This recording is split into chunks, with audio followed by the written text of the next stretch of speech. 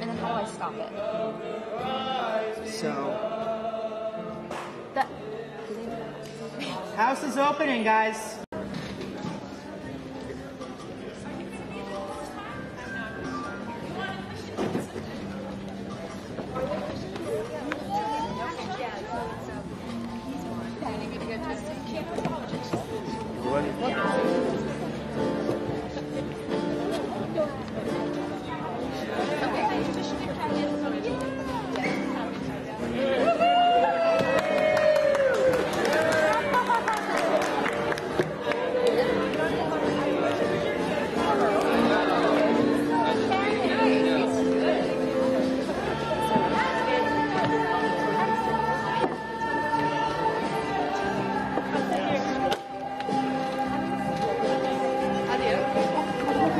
Side here, we can be closer and. Uh, So after the show, well, we can talk. Great. Yeah, perfect. See you then. Right. Be a little lower. I say these are for kids that are parents. okay, yeah. No, that makes it easier. Yeah, okay, we're the same.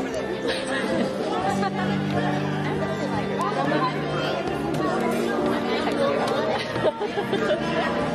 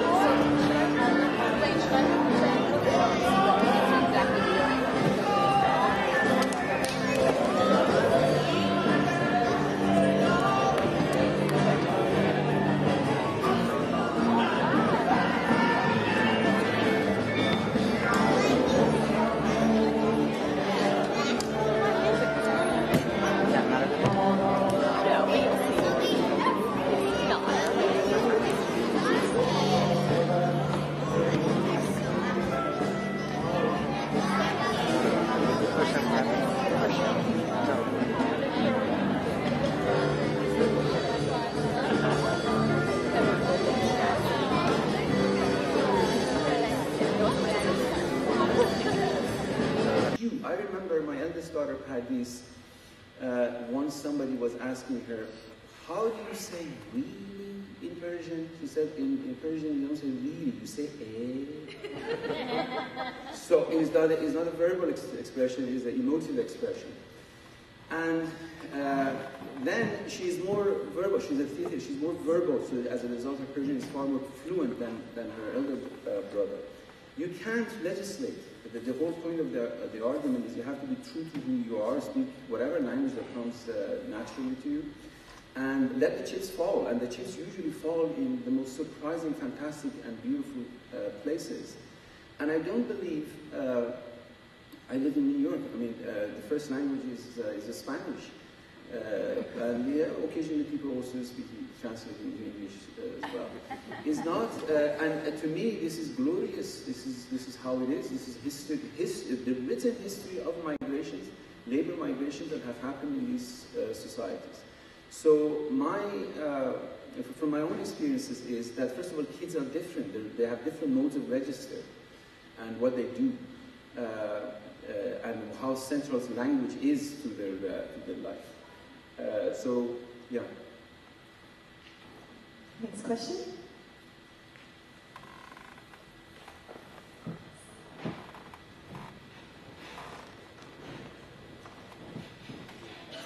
Uh, first, I, I maybe not a question, but maybe a, a, request, which is that you know I, I got cramps from likely misquoting you on paper as you were speaking, and uh, um, which is in, in, line with your your uh, your um, moment uh, Woody Allen and Faulkner.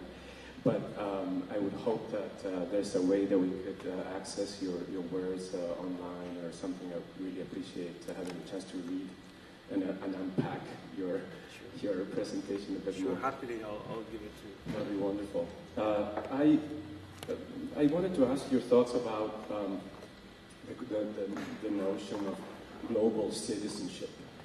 And, um, uh, you know, uh, as a, it was uh, something that uh, I myself an immigrant and living here for over 25 years already, but um, a practice of work that takes me to other parts of the world, and I always thought about that as a opportunity to to take in um, um, different different ways of doing things and being and incorporating into my own and, and as a way to opening up um, my, my own sense of self.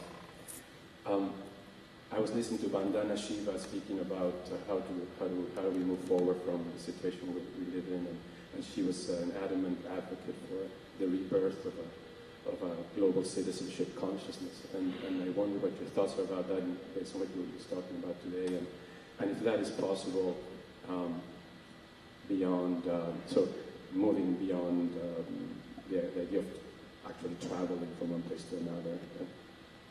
I don't know if I'm making sense with my question. Yes, yes.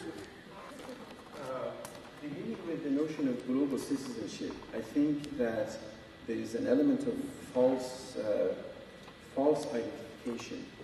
False identification. The morning after September 11, I'm walking uh, towards my office, and dear, dear uh, friend, colleague, I've known him for decades uh, on Columbia campus, very progressive politically, etc., comes to me and says, but Hamid, why did they did this? And I said, you know, I didn't come to ask you what Timothy McVeigh did the morning after Oklahoma bombing? Why do you think just because his name was Muhammad and my name is Hamid, I have an inroad into the mind of a mass murderer? It's a false identity by virtue of one name or another. Uh, or a sense of, uh, for example, guilt that if uh, Osama bin Laden is doing something thing, then I have to feel ashamed because I'm a Muslim. Or any other false identity. But the opposite of that is not a vacuous global citizenship. The opposite of that, I believe, is what Simmel called web of group affiliation that we generate around ourselves. The notion of self that you said, self is not abstract. Self, Simmel said, or the self that becomes manifested in society, is the, is the result of the number of web of group affiliations with which we identify whatever those webs of uh, group affiliations uh, are. Now, through social networking, an additional circle is made possible by virtue of uh, in this web of group affiliation. And uh, I have things far more in common with people in remote parts of the world, but nothing in common with my own neighborhood. And yet, and vice versa. So my being Iranian and living, uh, having lived in the US for uh, 40 years means nothing. And this is what, I, in answer to Muhammad's uh, conversation with me, the question of hyphen. I don't know what the, as soon as, as, as soon as you say I'm an Arab American, you have cross-essentialized Arab and American, as if there are only one kind of Arab and one kind of American. The hyphen cross authenticates them both. Whereas far more realistic is this diversity and multiplicities of the group affiliations with which we, uh, we identify. That is, you professionally may identify with somebody who lives actually in the, uh, in the enemy land, as it were. But emotive, I mean, we just saw this fantastic play last night about a Lebanese uh, poet and an Israeli uh, uh, translator who's in love with, uh, with her poetry. So, well, by web of group affiliation, I mean certainly poetry become a web that creates two people that are supposed to be each other's enemies. I mean, the whole drama is because of this cross crossing of these two boundaries that generates a tertiary mode of uh, solidarity. That uh, I mean, the whole drama is that they have to surpass that, uh, and the homoerotic aspect helps it uh, unfold better. Uh, th- this is far more real than anything. Uh, Avi Mograbi, fantastic Palestinian, uh, I mean, look at the, the, thing, Israeli documentary filmmaker, has a uh, documentary called Avenge But One of My Two Eyes. I don't know if you have seen it. It's absolutely one of the best documentaries on Palestinian situation by an Israeli documentary filmmaker. Avenge But One of My Two Eyes. What Avi does is, he goes and asks uh, Israelis to talk about their experiences of, of, of Holocaust as Holocaust survivors. And then visually he shows the predicament of Palestinians. And Israelis, unbeknownst to themselves, are providing a narrative of Palestinian predicament. And the result is a fantastic documentary. Hope it makes some sense. I'm sorry, we have just a short time for questions. Um, we're going to take just one more, and I, I invite you all to um, approach Dr. Dabashi and speak more during the, the lunchtime or the breaks. Um, but yeah, so we have one more time for question with Mahan. Thank you so much, Dr. Dabashi. Uh, wonderful, doctor. Um, I, I, have a question. Um, I'm going to preface my question with a little bit of a description of myself. So I'm a, a supposed or a so-called Arab. Uh, I have uh, Shia, Sunni, Kurdish, Turkish, Azerbaijani roots somehow mixed in there. Um, uh, you know, according to some writers, I'm totally at war with myself. Know, so it's kind of disturbing. But um, I, I, what I've noticed as an Iraqi um, is that there's this notion that a lot of us have of return and um, returning to something, and it's a very vague notion. And I wish, I hope you could uh, maybe talk to me or talk to us a little bit about this idea of return, uh, the pitfalls and the dangers, and maybe you know the greater, you know, what is it that we're really thinking about or aspiring towards when we when we talk about return? I think uh, just you know, like every other great question, the answer is in it, namely the hybridity, the, the multifaceted aspect, which is real, of your identity, which is very similar to my identity. I also come from the southern part of Europe. And to make it uh, even more attractive, uh, I, am the result of a devout Shi'i mother, very white in complexion, brunette and, and uh, light brown eyes, and a socialist father, uh, very dark black in, in his uh, complexion. Uh, they, they call him Dadisi. His name was Khodada. They call him Dadisi or Dadi the Black. And so we had a little bit of a Othello Desdemona situation. Uh, mine is a Trump. And they, they married and they loved each other and they had three sons, so obviously they had a splendid time. Uh, uh, so many people say, how come, you know, how could you a Muslim and then socialist? I said, well, and then to make it even more exciting, we had a Mullah Jawad, the blind Mullah Jawad who would come uh, once a month, uh, and he was devout Khomeini activist. It is back in the 60s. My father, well, then the other thing is he, was, he worked for the railroad. So three weeks of the month that he, has, he had money for his vodka and cooking for us and listening to Umm Kulsum and uh, Abdul Wahab, he was, a, he was complete Mossadegh nationalist. Fourth week of the month, he ran out of money, he had finished his vodka, so he couldn't drink when he was cooking and listening to the thing, so he became a Nasserite socialist in the, in the fourth week of the, of the month. You see, this autobiographical by, by way of saying, they, and then depending when Mullah came, they got into a discussion, but it, it, it differed month to month, whether he hit my father in his nationalist three weeks or socialist four. The point is that in that real, fantastic, cosmogonic reality, return to what? Follow? I'm, I'm supposed to return to where? First of all, there is no return.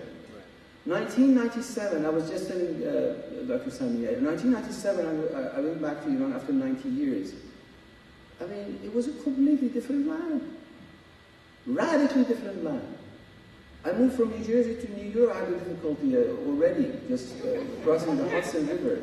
You see, the thing is, you never step in that river twice. We, did, we change, we, we vary, uh, we become different creatures. So this return is actually, is actually a fiction, because there is no home to return. Home is where you hang your hat and say no to power. Finish.